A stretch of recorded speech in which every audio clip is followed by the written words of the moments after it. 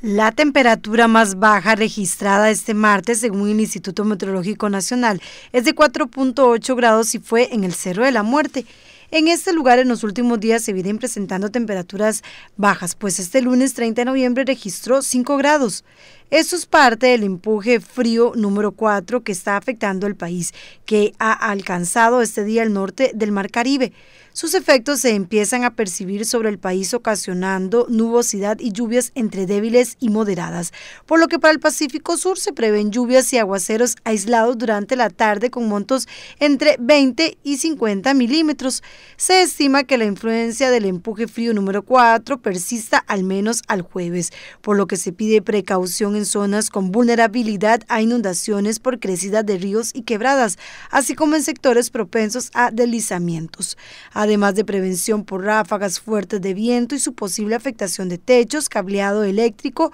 rótulos, árboles, así como en las partes montañosas del país.